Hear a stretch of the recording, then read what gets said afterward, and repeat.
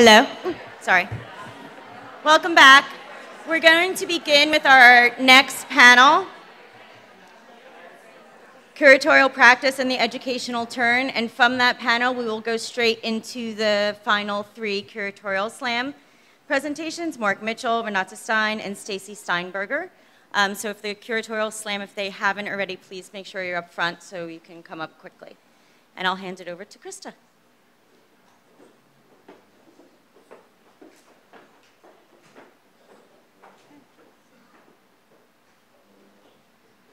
Good afternoon, everybody.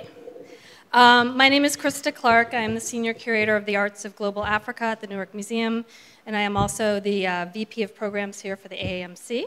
And I want to thank Sandra Furman and Griffith Mann for their great work as co-chairs of the conference. I assume that they're still here today. And also thank all of you for toughing it out and sticking it out to the last afternoon sessions. I'm honored to have the opportunity to present uh, to moderate our last panel today, which is on the subject of curatorial practice in the educational turn. Recent museological uh, trends over the past decade or so have seen a move toward greater audience engagement as part of a broader educational turn in curatorial practice. Art museums are now shifting from a model of an institution primarily focused on collecting and interpretive display to one that accommodates social interaction, encourages vi visitor participation in the construction of meaning, and showcases diverse forms of creativity. In some cases, the boundaries between curator and educator have been blurred. An especially apt example of this can be seen with the rise of the curator of public engagement. Some may view this as a radical shift in museum thinking, but I'd like to begin this panel with a look to the past, offering a brief history of public engagement over the course of the past century. It may be surprising for us to see that there are commonalities in progressive educational practices of museums in the early 20th century. At the dawn of the museum age, American museums were in fact distinctive in offering innovations in education and public engagement that was lacking in their European counterparts. Seen then in historical perspective, this moment might be regarded not as the educational turn, but rather as a return to education. The Newark Museum was one of the leaders in museum education in the United States. I got to get a plug in from my home, home ground. Uh, in 1913, just four years after its founding, museum director John Cotton Dana hired Louise Connolly, supervi supervisor of Newark Public Schools, as education advisor. Almost immediately, she embarked upon a remarkable trip, studying the educational practices and outreach programs of more than 40 museums across the country.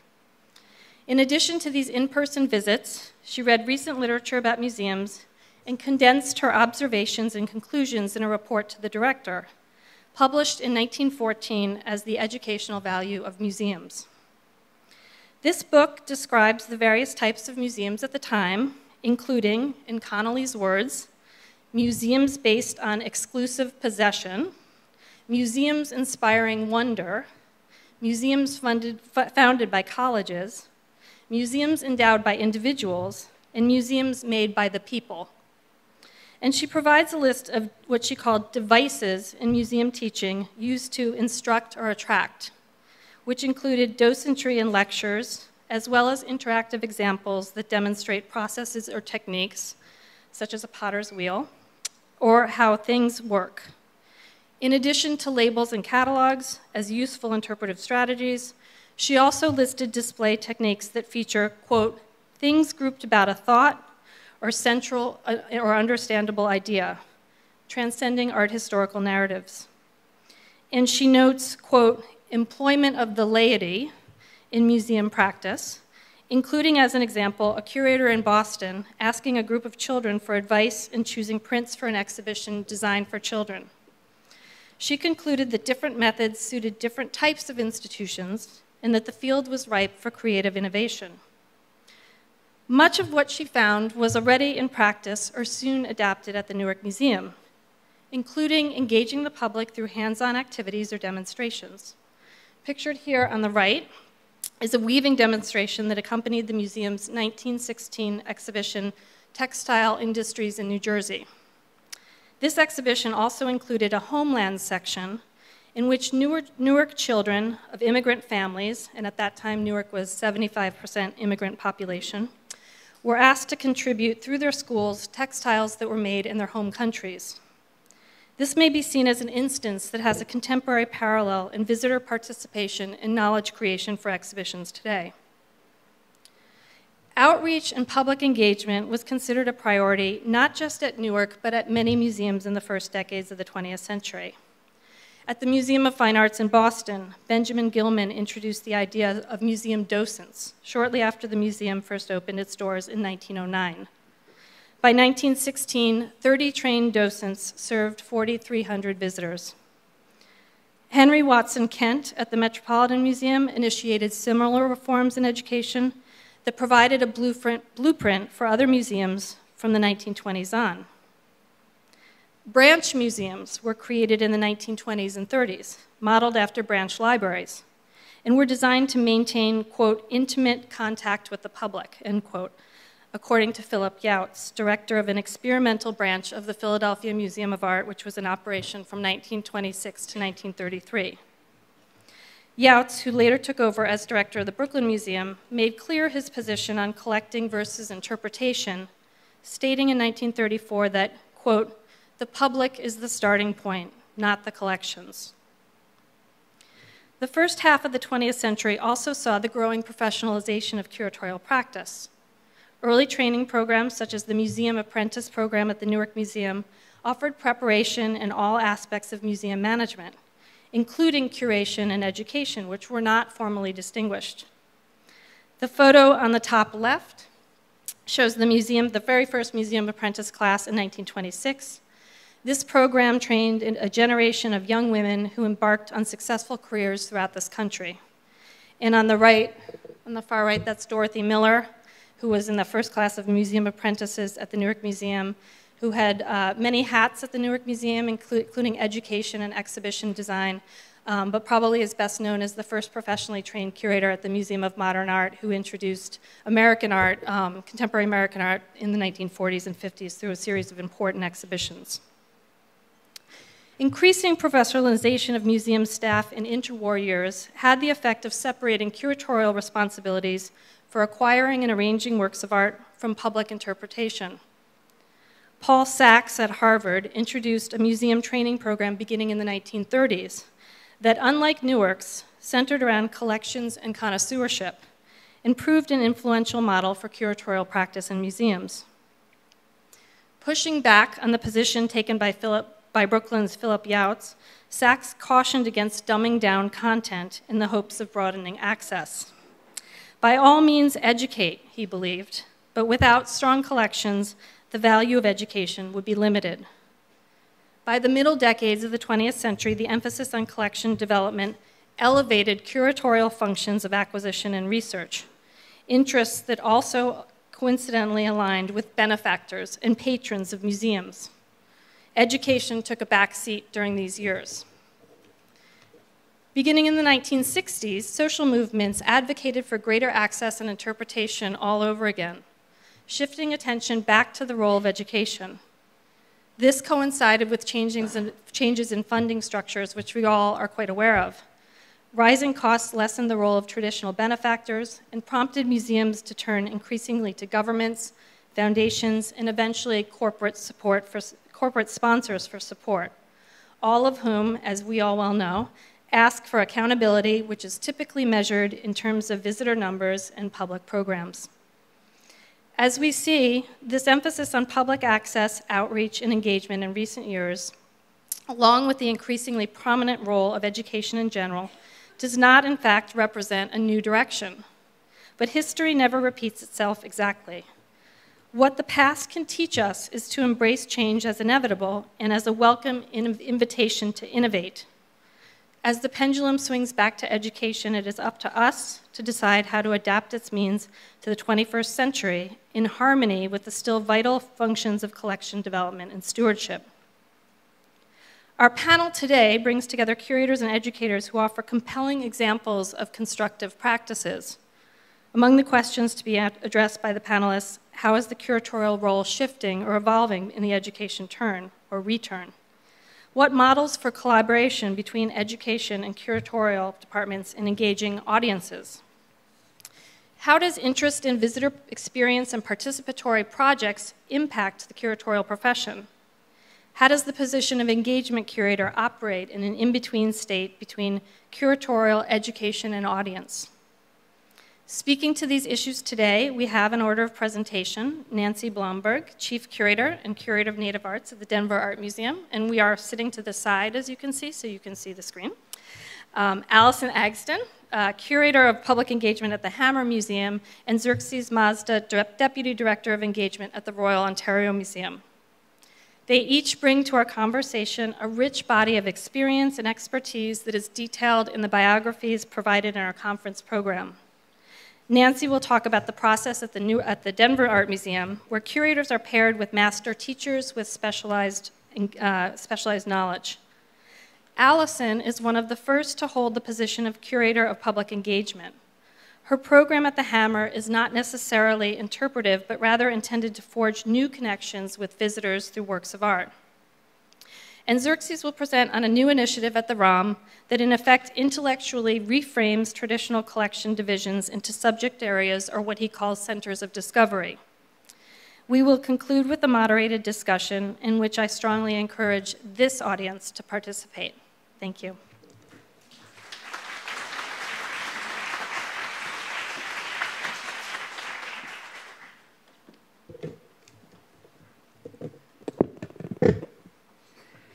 Good afternoon.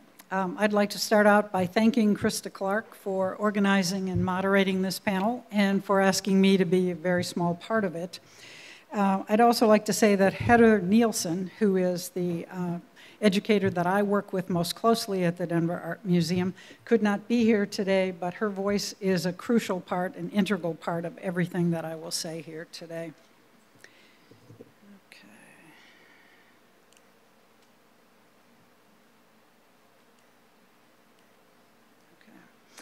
The Denver Art Museum actually has a very long history of curator educator collaboration, informally, and more formally to the 1980s when Patterson Williams was hired to be the Dean of Education.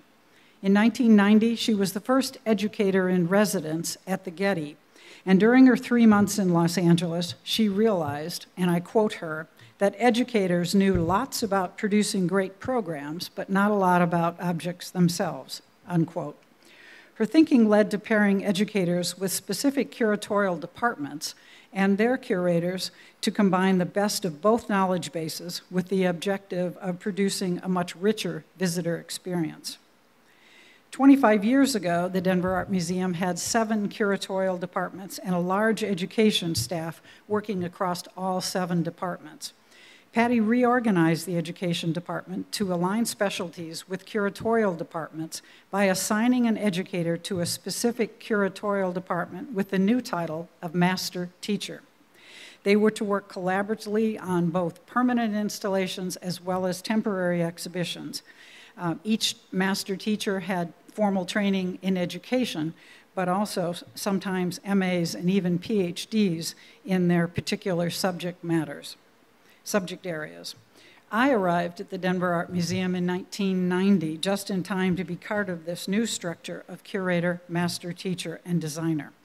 And just as a point of clarification, at the same time that um, I agreed to join this panel early this year, the Department of Education at the Denver Art Museum changed its name to the Department of Learning and Engagement structured, restructured the programming staff and changed the titles of master teachers to learning and engagement specialists, albeit with the same job descriptions and roughly collection assignments. So if during my presentation I slip back into the term master teacher, please forgive me because I've been using it for 20 years. This three person structure has evolved over the years to involve a much larger core team depending on the project. So this afternoon, what I want to do is give you four different examples uh, of each of these types of collaboration. For the first example, I'll discuss the reinstallation of the permanent gallery of the American Indian collection called Artist's Eye, Artist's Hands, Celebrating American Indian Art. As one of the first steps in our process, Heather and I conducted many focus groups about what the gallery might contain and what it might not contain. With an encyclopedic collection, we knew that we could support any number of approaches, but we wanted to hear from a wide variety of people before we settled on a specific storyline. Curator and master teacher together developed the questions. We attended each session and then downloaded and analyzed all of the responses. During these sessions, we frequently talked about artists in Native America. And we frequently got very puzzled looks from the participants, followed by the comment that there were no artists in Native America. Uh, that visitors expected to see artists in the painting and sculpture galleries or in the modern and contemporary galleries, but not in the American Indian galleries. That somehow they felt these objects had bubbled up out of immutable cultures, uh, but not from artists. Needless to say, we were shocked. The DAM had been collecting and displaying American Indian art for 85 years. In fact, we were one of the first major art museums in this country to do so. So those focus groups were real eye openers for us, and Heather and I sat down to discuss the implications that this would have on the project that we were about to embark on. Add to this another complication that the assigned gallery, although it was quite large at 23,000 square feet, it was deeply embedded with a second of our two buildings that required traveling from one building to the next, a significant distance in terms of time and effort. And our guest services staff typically advised people to go to the top floor and then work their way down. By the time visitors reached the American Indian Gallery, they were exhausted and often just left. So, as a curator, I selfishly wanted to stop this tra uh, traffic pattern and entice visitors to get off the elevator and encounter a monumental work of art that you see here, commissioned specifically from a well known native ceramic artist, Roxanne Swentzell, who would be actively working in the gallery for nine months to create this clay figure. And with the help of our education staff, encourage visitors to work with her and by the way, break the stereotype that there were no artists in Native America. Visitors and their families returned again and again over those nine months for the opportunity to work with rocks and actually be a part of this sculpture.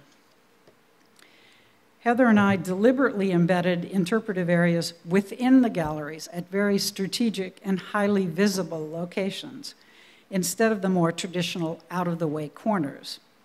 This area questions what is American Indian art with a, a, video as well as a seating area and table with provocative questions.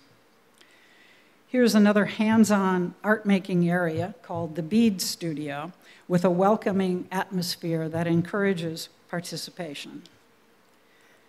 We have also provided visitors the opportunity to hear and see an artist at work in their studio, and this is Mateo Romero in his studio uh, captured uh, on film from Santa Fe. Using technology to unravel the complicated story embedded in a contemporary painting, Heather and I developed a list of questions together to discuss with artist Jean Quick. Smith, and then we brought in a tech expert to create a very interactive, interpretive area. Heather and I agreed that there's no substitute for engaging directly with artists so we enthusiastically structured together an active and very lively American Indian residence space within the gallery. And here, three or four artists a year work in this space to engage with visitors. And this is uh, printmaker Melanie Yazzie, one of our first artists in residence. Another artist was Walt Pourier, a graphic artist who proactively uses art instruction to engage disadvantaged youth who are at risk of dropping out of school uh, developing alcoholism, or even committing suicide. Visitor studies have indicated that the inclusion of contemporary art has expanded the visitor's definition of American Indian art, and further, that our artist centric approach has humanized the art for our visitors. So, the second case study that I want to talk about uh, involves three components. This was a traveling exhibition from the Albright Knox Gallery a guest curator from a neighboring museum in Denver, the Clyfford Still Museum, and our master teacher for modern and contemporary art. This exhibition was presented at the Denver Art Museum, but in partnership with the Clyfford Still, so the agendas of both institutions had to be considered throughout this process. Dean Sobel, the guest curator, had never experienced this curator educator collaborative model, but wanted to respect the Denver Art Museum's process. Stefania Van Dyke, our master teacher, wanted to be sensitive to the fact that Dean was an outside curator, but that his museum was partnering in presenting this exhibition. As a result, everyone started the process with some hesitation in communicating their opinions, but over time developed a very respectful relationship.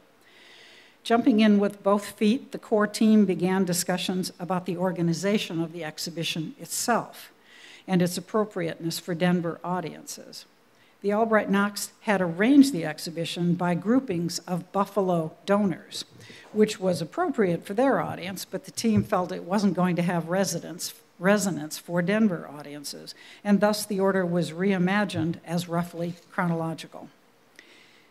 In developing interpretive moments, Stefania brought to the table studies conducted at the Denver Art Museum that revealed that many visitors who felt our dominant profile, and that was over 40 years old and well educated, had a difficult time making meaning of modern art. Four art historical terms which had originally structured the exhibition, which was Fauve, Surrealism, Abex, and Pop Art, were explained by the team working together, preferring explanatory phrases such as the power of color or expressive energy and the mind's eye. Dueling quotes were used on the wall, one from critics and one from the artist explaining what he was trying to do. Additional objects and then a small amount of explanatory text completed each area. The label writing process was divided as Dean proposed that he write all of the section panels and Stefania write all the extended labels. Both then reviewed and commented on each other's work. In addition, an audio tour was jointly developed between the curator and educator. Okay. The third case study is an expanded four way collaboration between curator, master teacher, conservator, and the local art community. Development of this new textile art gallery followed our standard collaboration process between curator and master teacher when developing the storyline, object groupings, and the exhibition text. The curator and the master teacher agreed that some objects would benefit from additional interpretation provided through technology, and both worked together incorporating iPads into the exhibition and working on the content together. Directly adjacent to the main exhibition gallery was a very large space called the Threads Studio, and it was a hands on activity area for visitors as well as for members of local textile guilds who used the space for meetings and group sewing, knitting, and lace making, for instance.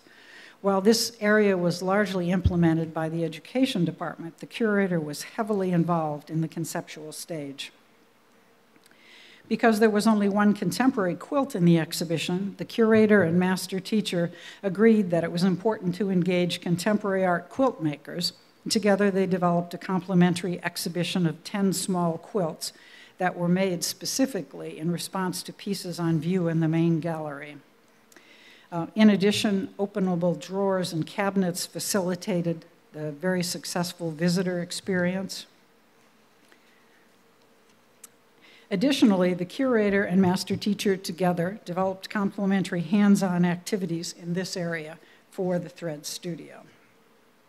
On the same floor, but directly adjacent to the Textile Art Gallery, is a space called the Preview Space. And this is a shared staging area between curatorial, education, and conservation.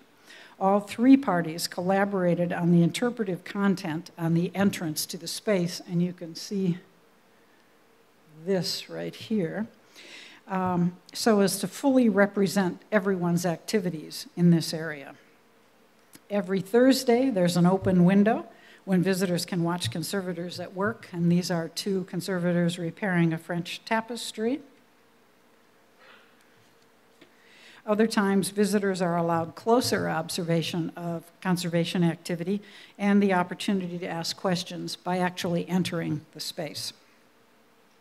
And on a regular schedule, there are formal presentations by the conservators about their ongoing projects.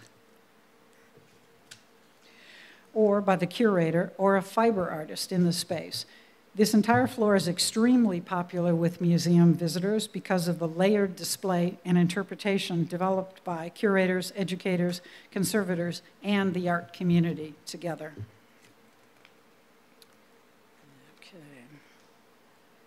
And the last case study, I would quickly like to take us back to the Native Arts Department to a temporary exhibition of Navajo blankets called Red, White, and Bold Masterworks of Navajo Design 1840 to 1870.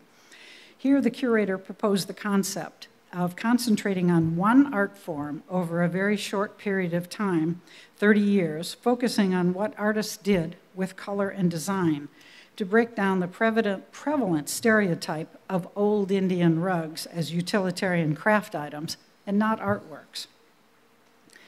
The curator and master teacher together decided on minimal labeling and other interpretive didactics and to instead create a compelling gallery experience that would carry the weight of what we would normally do with labels.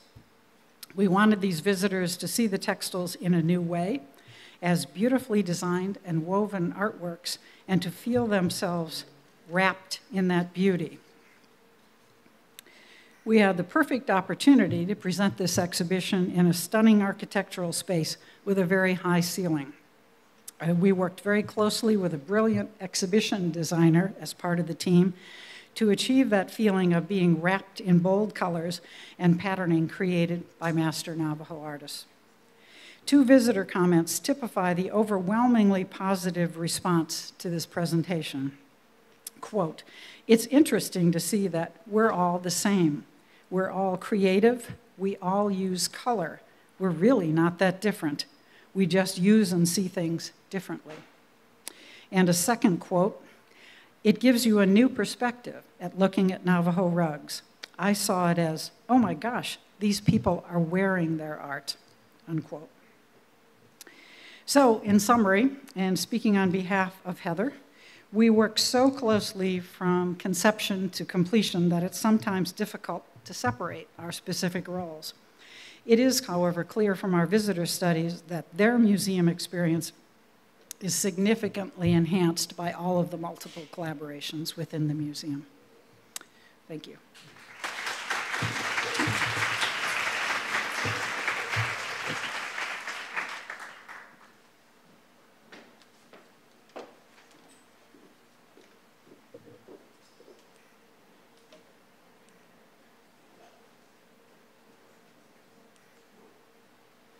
Hi, I am Allison Agsten, Curator of Public Engagement at the Hammer Museum, and I can assure you that when I started my job at the Hammer more than five years ago, everybody wanted to know why, and I bet people still do, otherwise we wouldn't be sitting here talking about it. At the time, it was a really novel idea, and um, some people raised their eyebrows about it, and maybe some people still do, but I think less than they used to.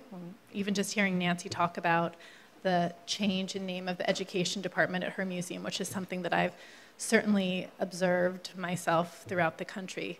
There are now many other people that have titles similar to mine. I'm not alone. Anyway, why did the museum embark upon this? Um, we love this, but that's not really why we weren't looking to do more educationally. We really had to actually fix this. This is a grainy picture from my old fashioned iPhone about five years ago. We had to really address the visitor experience situation at the Hammer. If you can believe it, you used to get your tickets at our third floor bookstore. So you'd kind of cycle up to the top, you didn't know where you were, go into the bookstore, you'd buy a ticket, they get out a pencil and they make a little hash mark saying that you came. And that didn't seem like maybe the best way. It was counterintuitive. And I think the Hammer, known for being a cutting edge progressive institution, it wasn't really aligned with that. Somebody is raising their hand back there.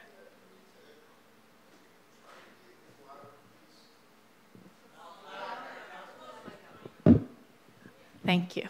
Is that any better? Okay, good. So there were two things we were thinking about. Uh, visitor services on the most basic, very, very basic level. Having a front desk, like you see here, this is the mock-up for it. Having a front desk in our lobby with people sitting there that could give you tickets and answer your questions, and then simultaneously the museum and its artist council, which is kind of what it sounds like, an artist board, we're thinking more and more about um, social practice, socially engaged art. And we wondered if there wasn't some way to somehow bring the two together. So in 2009, the museum received a very substantial grant from the James Irvine Foundation to begin thinking about this. And in fact, when I started, I was curator of public engagement and director of visitor services. Eventually, those two things separated, and after a couple of years, visitor services went on to the development department where it's really thriving. I think, though, conceptually, those things are really aligned, working with artists to make art projects that connect with the public and basic visitor services, they actually require two totally different things. On one hand, I'm you know, coordinating how to make a nudist day at the museum, which we didn't do. And on the other hand, I'm trying to find the right devices that sync with our bank when we take credit cards, and it just didn't work out. People ask me a lot about the hybridity of that position, and I think if your institution is interested in that, my recommendation is always that you provide an equal amount of support staff as if there were actually two people doing those jobs. And I find that visitor services is um, much better staffed in development than it was under my little nascent department. So our very first artist in residence who we worked with for a year is the LA-based art collective Machine Project. And in that first year, they had a very specific directive to help us solve some of the problems of the museum. And this is an example of that, that this piece is called The Giant Hand. I bet you can see why. It is a highly stylized Victorian hand on top of a tower which is, represents the building that our offices are in, and then below that is the actual museum. And this piece was meant to address our ongoing and major wayfinding issues.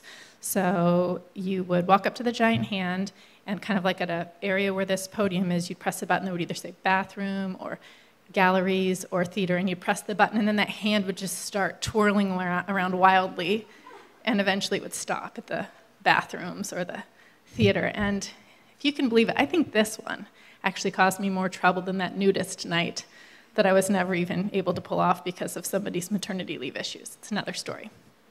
Uh, because what we found out is that the museum actually totally has an entrenched opinion about marketing and about wayfinding.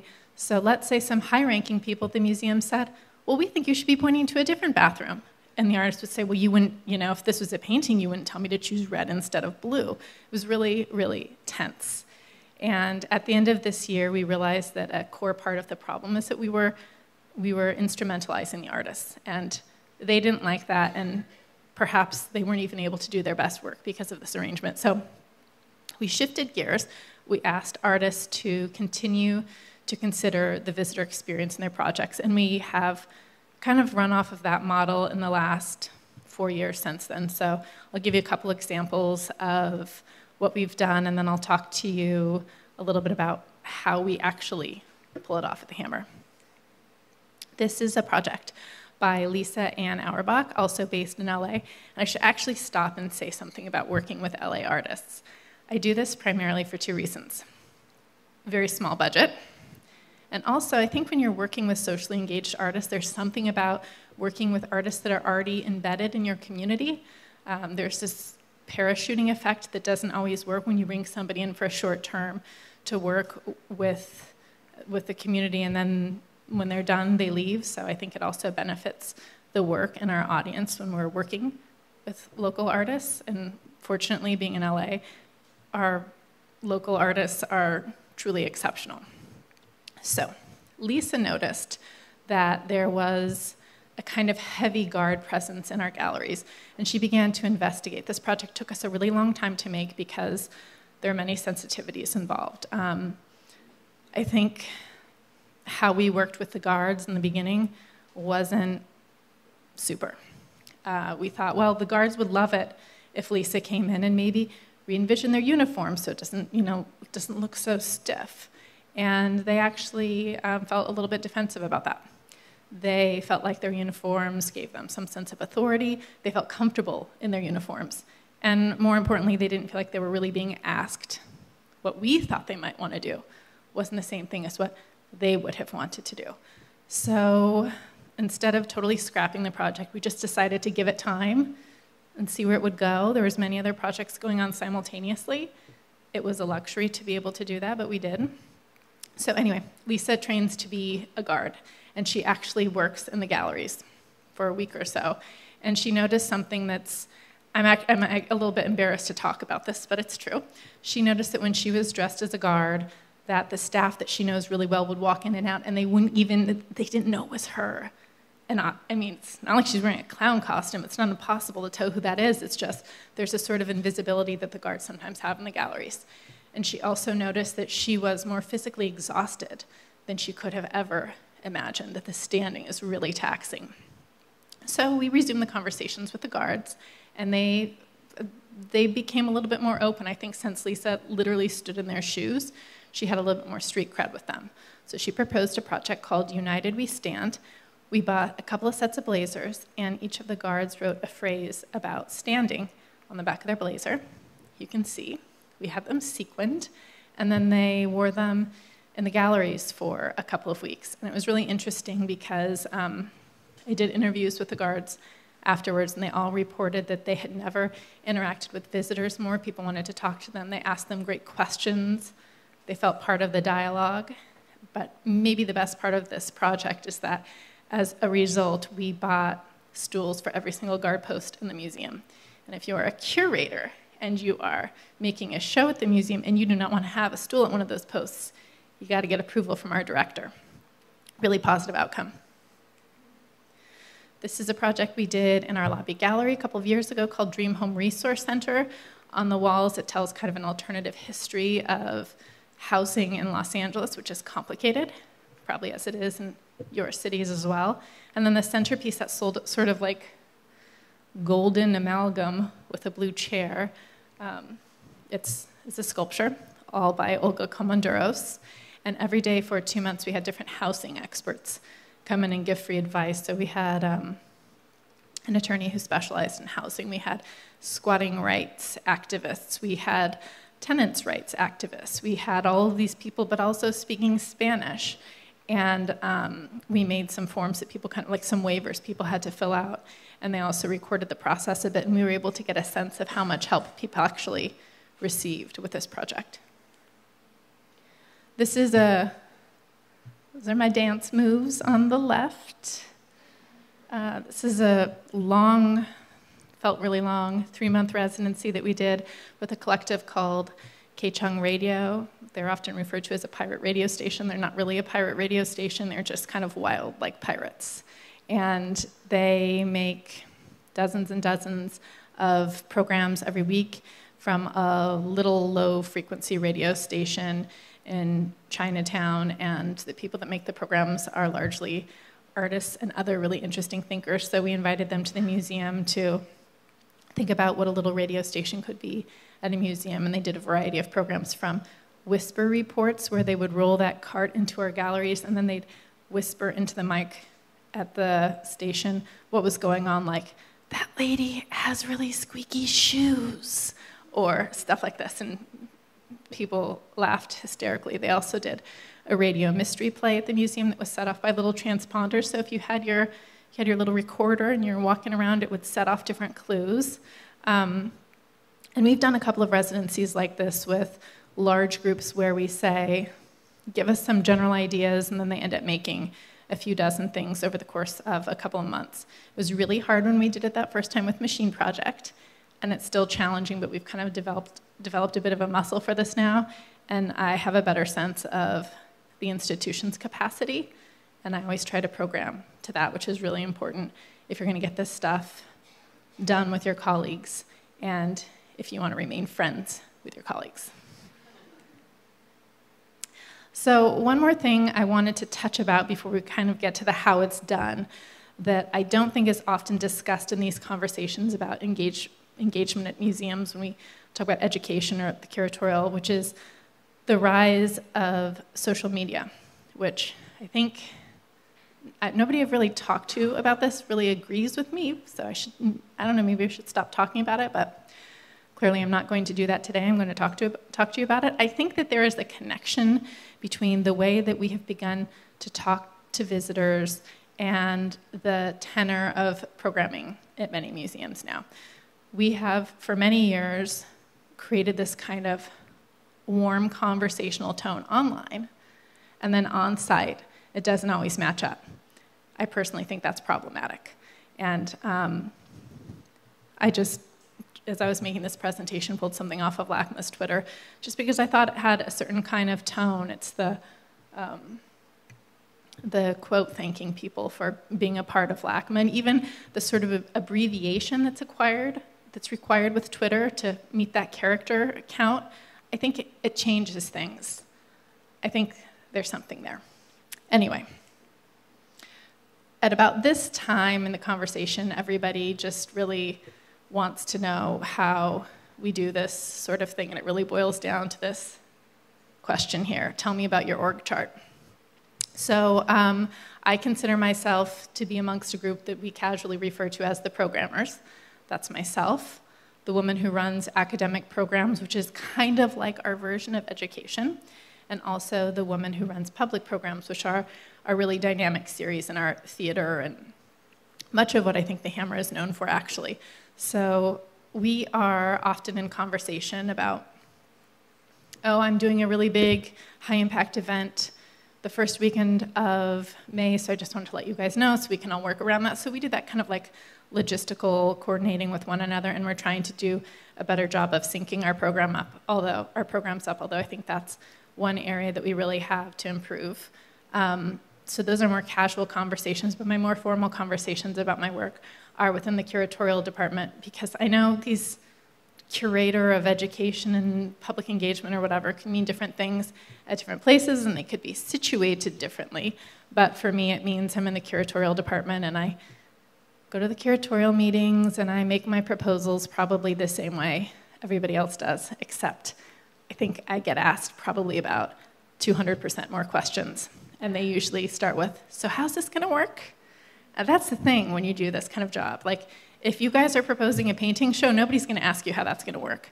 But people ask me how it's going to work. We're going to build this little cart and we're going to set up an audio system and then we're going to roll it around and we're going to take it here and we're going to take it there. There's always that question of how does it work? Finally, I wanted to just share my um, contact information with you. Hopefully, we can stay in touch. I have a feeling that the email address that you have for me is my Hammer email address, but I'm actually uh, leaving the Hammer next year after, or next month rather, after more than five great years. I am going to be the director of a new museum that's being developed in downtown LA that will open in the next few years or thereabouts. Thank you.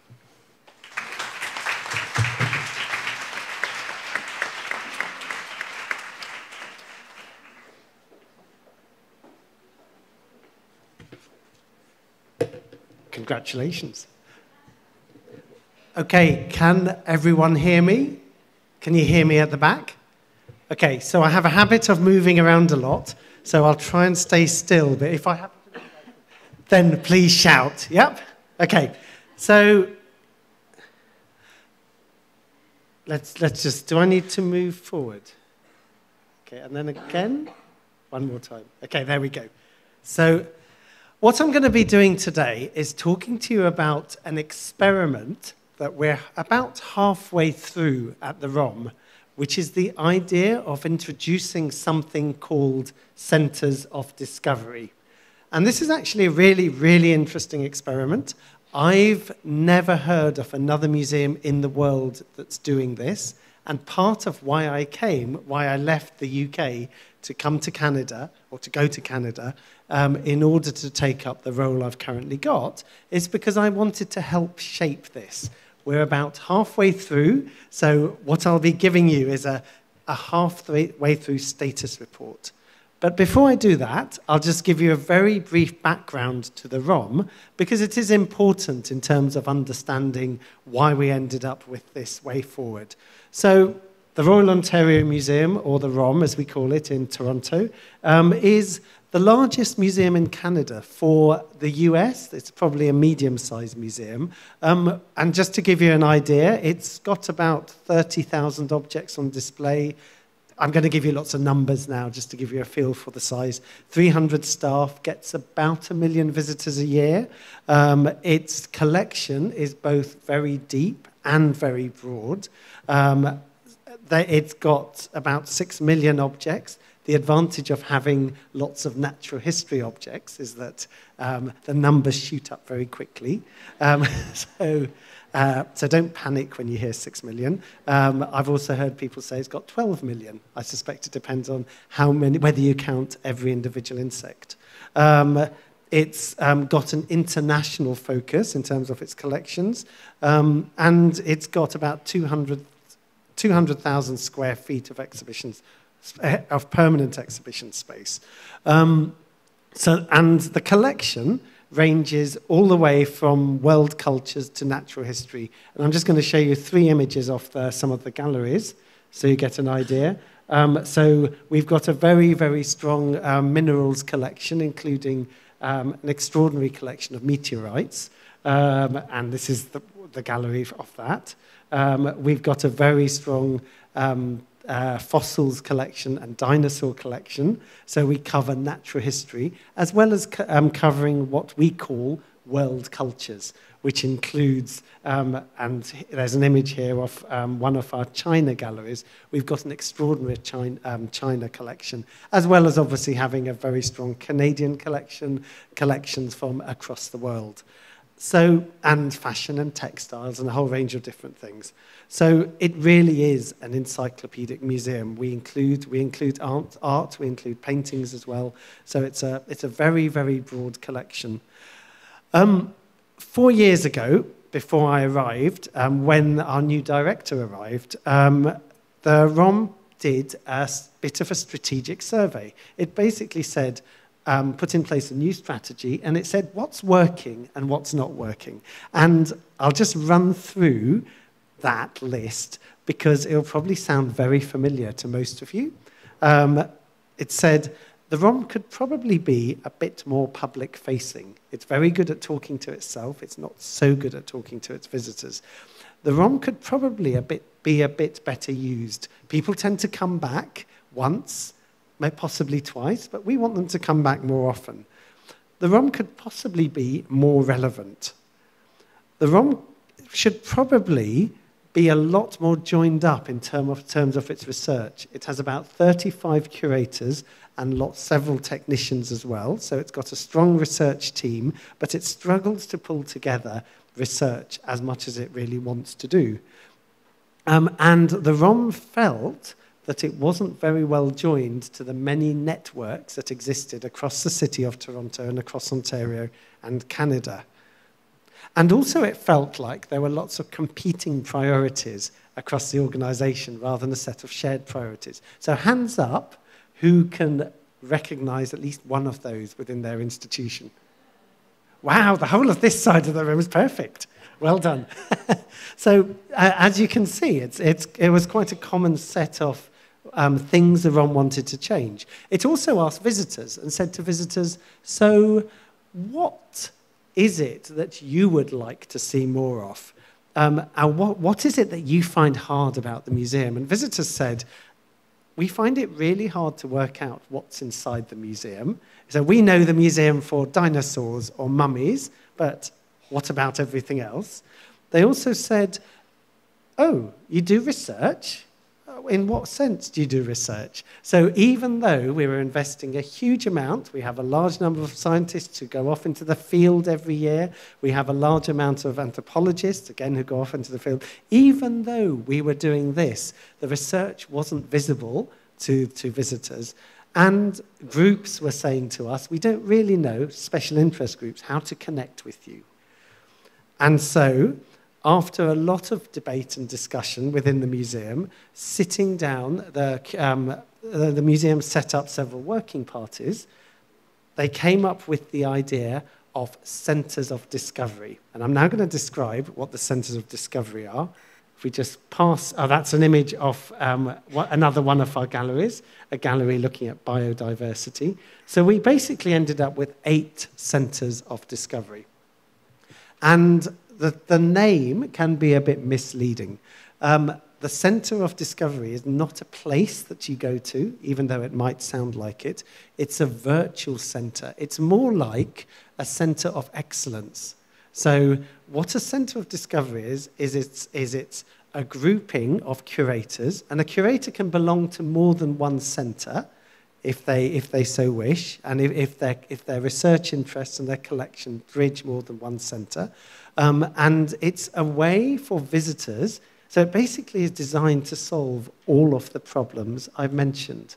So what the centre is, is, is, is it has someone in charge of it called a managing director who doesn't actually manage the curators, they manage the ideas and they manage the strategy. So what they do, the managing director of, say, let's take Canada as an example. So the, the ROM has a couple of cur- uh, Canadian curators who look after Canada. It has two Canadian galleries. 60% of its collections roughly relate to Canada, and many of the curators within the ROM actually work on aspects of Canada. A lot of those are natural history curators who will be studying Canadian geology or Canadian fossils or the, the history of life in Canada. What the managing director for Canada will do, as we say in the job description, is they will pull together all of the curators. They will work, sit down with the curators. They will understand the various aspects of Canadian research that's happening across the ROM. They will work with the curators so they understand the scope of the Canadian collection. It's about 60% of them they will work with the curators and they will work with the programs team and the exhibition team and the web team and the social media team and the marketing team and pull together a strategy for how Canada will be represented in the ROM. They will then, for individual programs, they will act as the liaison between the curatorial teams and the programming, exhibitions, permanent gallery teams, etc., etc. So they will attend a lot of the meetings. They will, so not every single curator has to attend the meetings. They will, um, they will work on a lot of the detail of that. And they would also have their own projects where those fit within the strategy for that centre. So, does that give you an idea? I'm sure you'll have lots of questions of how we envisaged the centres. And on paper, that makes perfect, perfect sense. Yeah? It's a new system. And so, whenever you translate, as a manager, I can say this whenever you translate something that's on paper into something in reality, things don't quite go as you imagine. You have to put quite a lot of work in. So, what we did, I'll just, mention, I'll just talk about the eight centres and how we got to these. Canada cuts right across all of the different collections, as actually does contemporary culture. We don't have a special contemporary culture curator or a special contemporary culture um, collection, but each individual curator will be collecting. So the African curator will be looking at Af contemporary African art or looking at contemporary African culture, etc., etc. You can look across all the collections. Those two cover all the collections. The others are very specific to specific curators. And I don't need to go through the details, but you can imagine which type of curator is in each of those, in each of those centers. And as I say, some curators can work on several. So we've so far appointed three of the managing directors within this.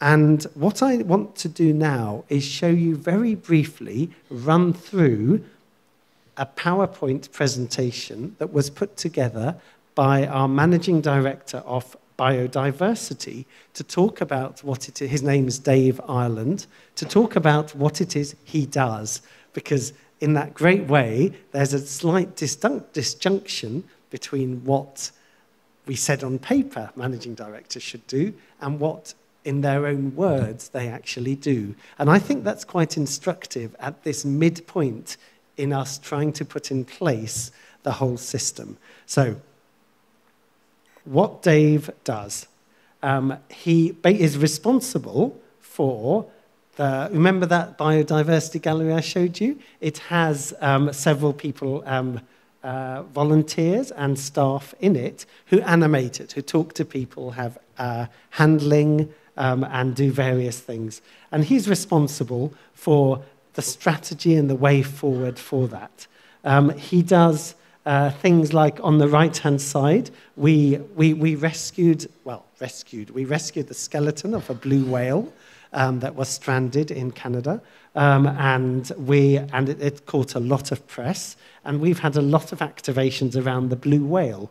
We didn't have any capacity within the programming staff or the curatorial staff to talk about it. So Dave took responsibility for working with the curators, working with the programmers to make sure it was tweeted a lot, to make sure that um, we put a big, this, this big um, decal on the floor off a blue whale, and we had lots of activations during our different holidays to talk about blue whales and what we did. So he was there to pick this up um, at a time when other people were very busy. Um, uh, he supports the research and collections. So the curators do research, the managing directors do not do research, but what they do is they make sure that that research is visible front of house. Remember, visitors said they didn't know we did research? The managing director is responsible for making that research visible front of house. So he'll organize for curators to stand in the galleries at busy times and talk to visitors um, about different things and facilitate those. Um, this is Dave's explanation of um, the things that happen back of house, the kind of research that happens, taxonomy, systematics, evolutionary biology, and then towards the bottom, are the areas that he tends to get much more involved in. Things like, right at the bottom, citizen science, um, restoration ecology.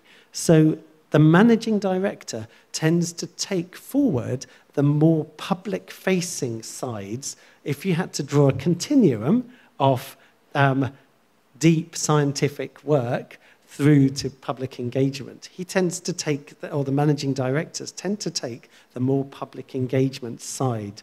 Um, he organizes small touring exhibitions which talk about issues that we are really concerned about.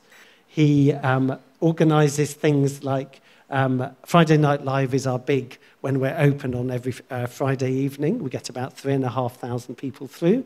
He organized um, a, a, a live link up with curators in the field, in this case in Borneo. And as you can see, people came and listened to curators talking. Um, he he's responsible for our game jam when we bring in um, many uh, programmers to listen to curators and then convert that into computer games. It's kind of a, over, a, over a weekend, they basically work solidly in the museum, fed by lots of pizza um, to, to, and Coke to, to, to deliver this. Um, and then he attends a lot of meetings on behalf of the curators. Uh, and he proposes exhibitions, uh, uh, uh, not exhibitions, programs. So this is a talk coming up. Um, and he'll work with, up, with the curators to make sure it work, it's going to work, and with the programming team.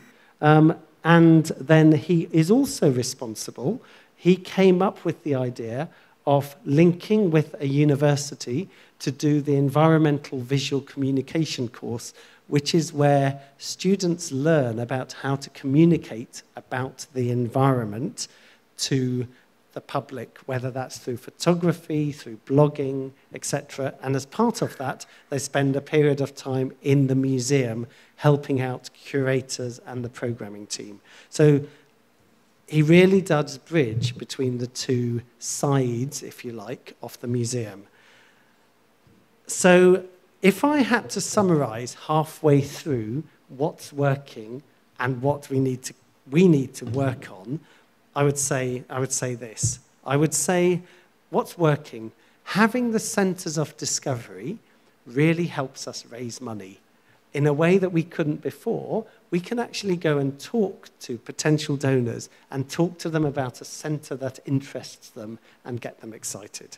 Um, through bringing in managing directors, we really are bringing in skills that in a traditional museum structure, we wouldn't necessarily, there wouldn't be an obvious place for them. Each of the managing directors has a different set of skills that we don't currently have in, in the museum we are saving curatorial time because a lot of the attending meetings, etc., etc., can get carried over by the managing director. Um, and we are, oops, and uh,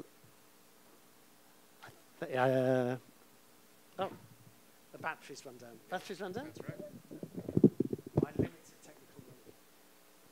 Hmm. Oh no, battery hasn't run down. You know what? Just uh,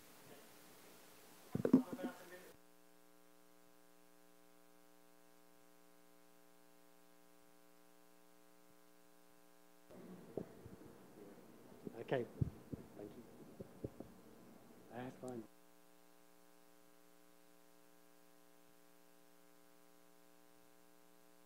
Thank you, thank you. And, and we are decreasing silos across the institution in a way that we said we would, because actually the managing directors, although they work to me, I only ever meet them with my equivalent in collections, so Deputy Director Collections and Research. We sit down with them together and together we work together on what needs to be done um, in any particular area.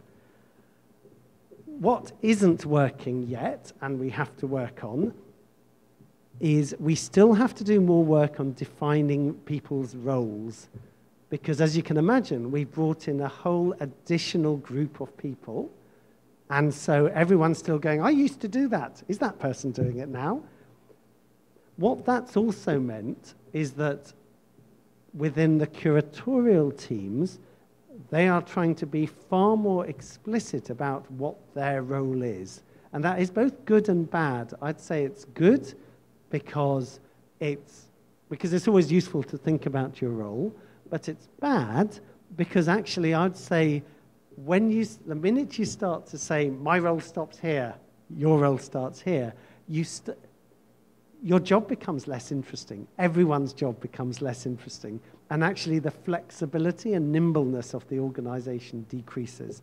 So I think there's a bit of work we need to do around that whole role definition. And what we're doing is every time we hit something like that, we're sitting down again and working through it. Um, and I also think we need to do a bit more work on explaining what the centers of discovery are. I spent quite a while trying to explain it, um, and I think that will happen when all of the managing directors are in place and we've been running it a while, we will get much better at explaining it. So I'm going to stop there. That's, so that's where we've got to with the Centres of Discovery. I'm sure there'll be lots of questions in the conversation that follows. Thank you.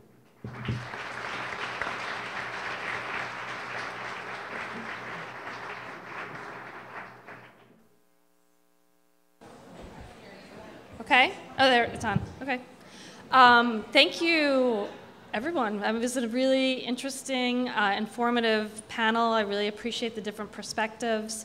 Um, I wish, I wish I had a uh, succinctly formed question I have a kind of messy, I don't even know if it's a question, I don't even know if it's just for you or if it's for us as a group, but um, Xerxes, you, you kind of ended with defining roles, and the question I was thinking about throughout the entire panel, um, we had had previous conversations when we were talking about what this panel would be about, and one of the things that you had raised was um, who is an expert and what does expertise mean? And I'm thinking about that in relationship to, in relation to the curatorial profession.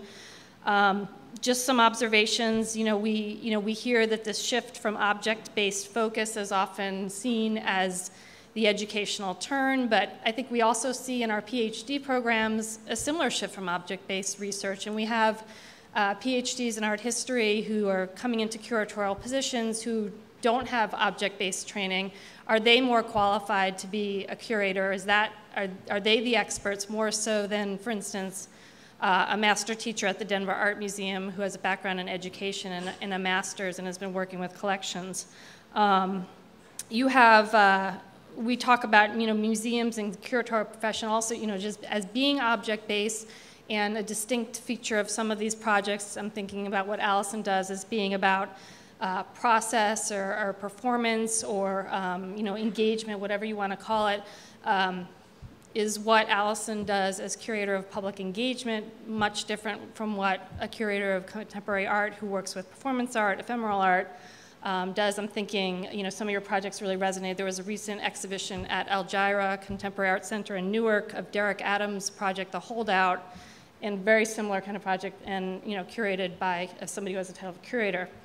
Um, we have, uh, you know, does this really reflect the hybridity of our time, the move to interdisciplinarity in humanities in general? Um, so I guess what I'm saying is in response to this, and this kind of speaks to how you ended, do we sharpen or refine the definition of the curator? Do we define our roles? Do we dig our heels and do we say that as a profession, this is what we do? Or do we maintain a flexibility? Um, and I don't know if that's a question for you guys, if you want to speak to that. And then I, that's going to be my only question because I know everybody has uh, questions to ask from the panelists. I think we only have about 15 minutes, so if you want to speak. I think we'll all answer that one. Okay. It's not on. Okay, there we go. Um, well, my institution was certainly flexible. They spent eight or nine months looking for a curator with a traditional, more traditional background, I should say, somebody with more experience in performance, and they ended up hiring me. I have a BA in English. I um, was a producer at CNN. I covered the arts. I worked at LACMA, where I developed the social media presence there and worked on lots of other interesting digital projects. And I think ultimately I was hired on a sensibility, certainly not a PhD or relevant curatorial experience. Although I'll say that even in the five years that I've had this job, and in fact, when I have gone to hire a couple of different curatorial assistants now, the number of PhDs that I've interviewed that have totally relevant experience is just like gone like this. I think the other thing about these programs that we're talking about that train curators, we kind of also have to think about the MFA programs. Now there's a number of really serious MFA programs for social practice. So, in addition to a certain kind of professionalization in this field, artists are also being trained a bit differently. Mine's not, there it is, okay. Um, I would say it depends on the institution. Um, and certainly over my career, I have learned to become much more flexible rather than more specialized in my area. It is an institutional mandate, of course, that we all collaborate, but it's somewhat individual by the master teacher or the, uh, the curator. But I find myself much more engaged broadly in so many different ways and being flexible, which to me is much more interesting than just specialized in one area. And, and again, visitor studies tell us that that variety is something that they appreciate as well. Okay, so I would tackle that question a different way. So I would say, so, and, and I would answer it by saying, I kind of don't care what anyone's called but I want to, so I don't, I don't really mind if someone's called a curator or interpretation or programs or teacher. Um, but every institution needs to work out what are the skills it absolutely needs and needs to make sure those are held somewhere. So in all the institutions I've worked in, um, and I'm lucky I've always worked in, a, in research institutions, um, we've always needed people who understand what research is, how to do it, how to distinguish good research, how to use it and turn it into the public in, into public in some way. And in all of those institutions, that skill has been held within the curatorial team. So I don't mind, you know, it's great to have flexible people. Obviously, the more flexible the people you have, the better. But in all of this, we mustn't lose sight. We mustn't wake up one day and go, oh, there's no one in the institution who understands research because we've just been employing people who are great at communicating with the public but not good researchers. Or um, the same for people who understand objects and understand the power of objects and the power of art. I don't mind where that knowledge and that, those skills exist, but I think we need to keep an eye on those things. So, almost, I would say, we need to define in a very loose way what are the absolute, are there any absolute essentials for a curator? And then what are all the really nice to have? And wouldn't it be great if, as well as being a good researcher, you, you can tweet and you can talk to the public and you can do all these other things? And it will depend on the institution and how large you are and a whole range of other things. Yeah, I think uh, that's. Uh, I don't know if this is, working now. Um, I think that that's an interesting way to think about it, and maybe I think that sometimes we do talk more about naming and classification of who we are more so than about what inherently is it about what we do. Um, in terms of research and, and working with objects or, or, working with art making practices. Um, and Allison, I think your point also about the different training programs, I mean, a point I wanted to add was just, you know, the, these curatorial training programs are also very different. I mean, you have the kind of classic PhDs in art history, which may or may not train you know you as to be a curator and then you have the curatorial training programs which some of which are object based and some are you know about critical practice and curation. Um, there's a program in south africa that's entirely about the archive so many different ways of thinking about what it is to be a curator. Um, but i'm going to open it up to the floor because i think that this is about audience engagement and um, engaging my peers here and asking questions. So i don't know if anybody wants to respond to what the first question what we're talking about or if they have other questions for our panelists. So have a question back there. And this is really, this is working. Helen. This is for Xerxes. What does a manager, managing director's skill set have to be that's outside of what is already in a museum? You mentioned that two or three times. Yeah. So, so what's interesting about managing the managing directors we've appointed so far and the ones we've gone on to appoint is that each one of them has got something very different. Um, and we're not, we don't, we don't go out there and we're not specific about what that needs to be. Um, and they've come from different backgrounds. So um, uh, Dave Ireland has to be one of the best um, public engagement with science and um, people that uh, that I know actually, um, and that's his skill set. That wasn't one that we had within the museum, and that's the thing that he as an individual brings. Um, the um, the managing director that we've appointed for actually for three of the centres combined because we're trying to launch all at the same time. Um, ancient cultures, world cultures, textiles, fashion.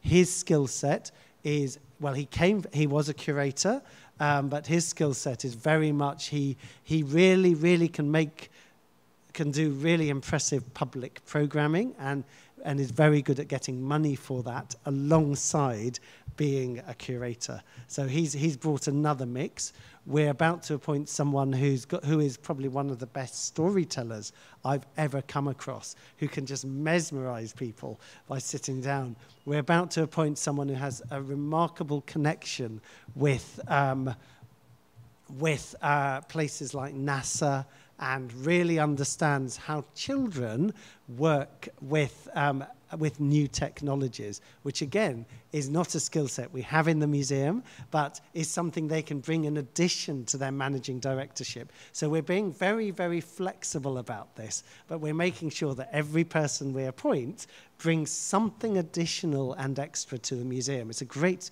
chance, because it, they're not pigeonholed, it's a great chance to get these skills into the museum.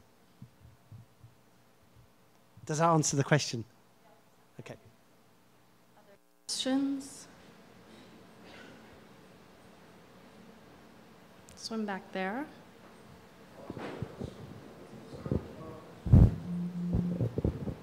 Xerxes, how many curators are there at the ROM? I, I know there are quite a lot. Yes. So, so, so there are there are 35, 35 36 curators. 35. So there needed to be something to bring them into some kind of dialogue.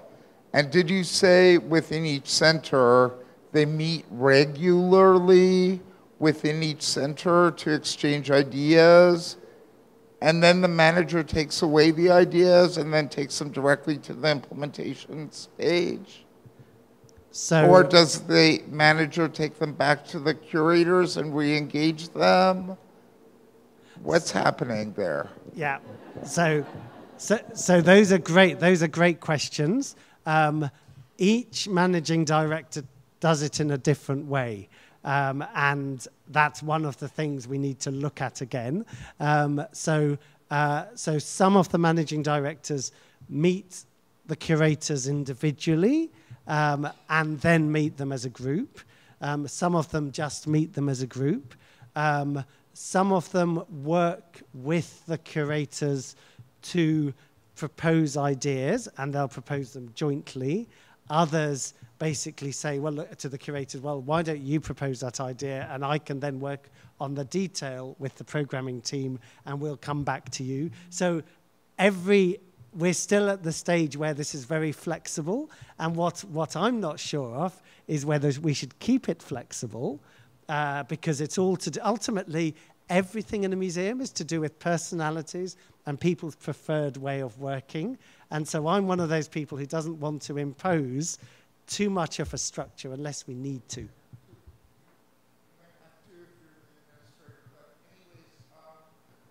What about getting all the managers and all the curators into one room together?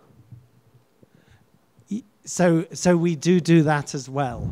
Um, so we do we do meet with the um, for a lot of different things. We meet with we, we're divided into two curatorial teams, and we'll meet with the two cu- two curatorial teams, and with the programming team and the um, and the uh, exhibitions team, etc.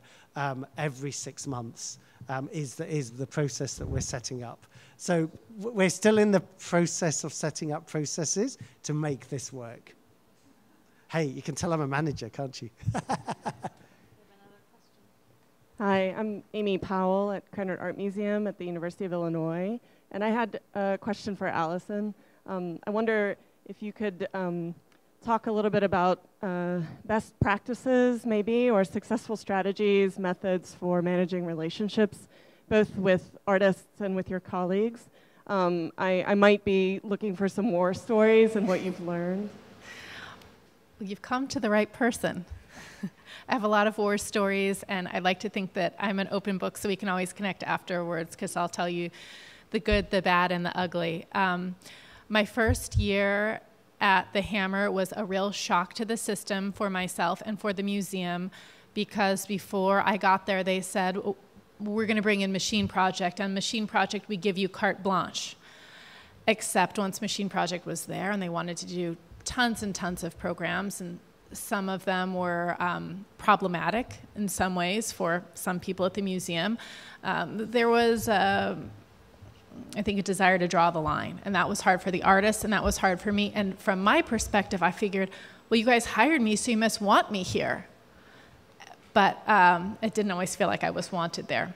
And one of the biggest problems that I have eventually overcome is the relationship the relationships with the other programmers, as I call them, public programs and academic affairs.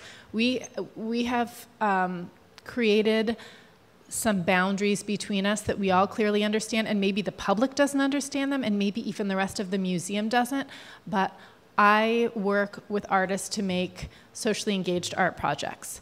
Claudia makes public programs usually in the theater or another space called the Annex. Teresa does interpretive programs. So we all kind of stay in our lane. And that, that might sound restrictive, but it actually makes it so that we can work well with one another. And we also do a pretty good job of saying, hey, I'm interested in doing this screening series, and I think that this is why it works within my area, and I just wanted to sit down and talk with you about it. In fact, this happened a few months ago with um, Claudia, who runs public programs, who's become a good friend of mine. And she said, I got to tell you, like, film screenings are kind of my thing.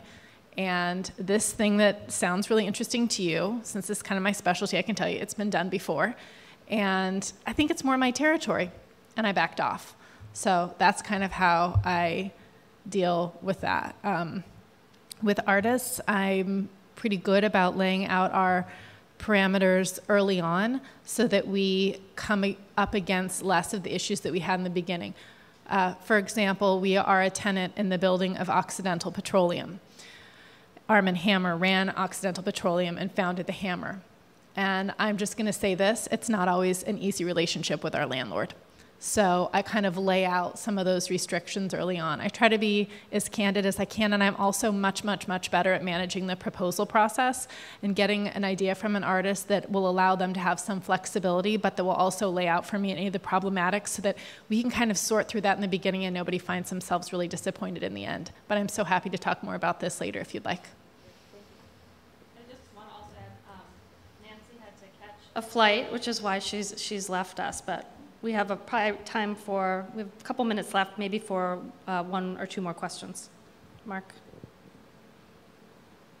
Xerxes, uh, writing a job description for the, uh, managing director, you, writing, writing a job description for the managing director, you, you said you prize certain attributes that may be that, that may be something that you couldn't really quantify in a, in a position description because a lot of them depend on who you've hired before and, and how you balance that with somebody else who comes in. I mean, how do you approach this? Okay, so so the um, so the job descriptions I've got in fact with me a job description for man, for the Canada managing director. We we we we basically ask for a whole range of attributes in the in the job description um, and we don't talk about, and you have to have something else that nobody else has, because, because you just can't put that, you just can't say that. Um, not for any sort of legal reasons, but, you, but you know, actually what I'm, what I'm saying is that um, the managing director role has to have all the attributes we need.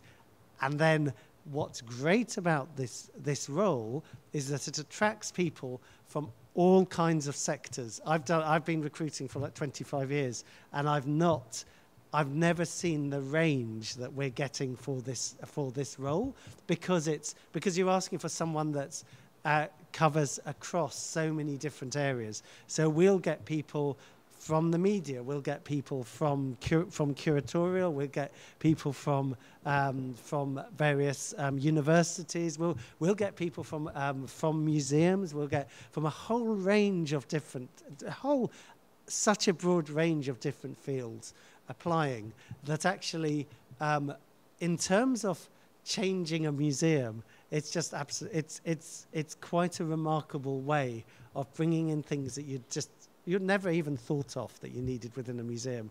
And it's a lovely, lovely experiment, and it's a lovely freedom to have, actually. But to your point, within the job description, you have to focus on absolutely the list of things that the managing director that you actually you, you really want them to do. Does that clarify the difference between those two things? Yeah.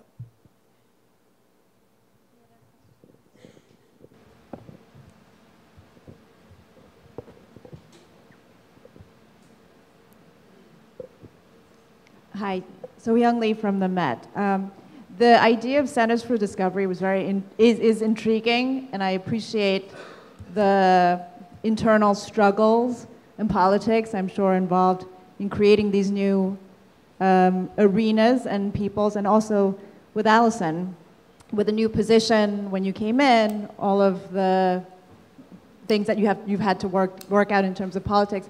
But given the panel, I'm interested, could you say a little bit more about the public engagement or the concrete kind of results that you're hoping for with these centers of discoveries, specifically with audiences? Um, and also, Allison, when you came, what did you hope to achieve with the audiences, and what do you feel are some of the successes in that arena? Um, unique about the Hammer, and one way in which I'm extraordinarily fortunate is that we're not a super numbers driven institution. So I was given an incredible kind of flexibility, and I still am, to try new things without the benefit of having to draw in X number of people. I, I think that bringing in people is, of course, important, but I often feel like I'm going to veer toward the quality versus the quantity. Because my program was grant funded, measurement has been just a huge part of what I do. I can't ignore measurement. And in fact, I just received um, a very big grant about a year ago to run an off-site partnership with Mark Bradford and a couple of partners that he's working with where we make exhibitions and public programs off-site. And with this grant, I really learned from the first one. I actually built money into the proposal to hire legit evaluators because I think probably many of us doing this kind of work are doing our own ad hoc evaluation. And sometimes that works and sometimes it doesn't. I've actually done plenty of surveying that's made a huge impact in the way that I run um, programs along the way. Um, one of the programs that we did with Machine Project early on um, that came was generated by an artist, of course, was needlepoint therapy. And um, small group of people, eight people, met for a couple of weeks in our green room where they needle pointed images from our permanent collection while doing group therapy with a real therapist. So I wasn't privy to anything that happened in this activity since it was real therapy. I never saw the people come and go. And so I had to have some way to gauge whether or not this was working. So I made some simple surveys.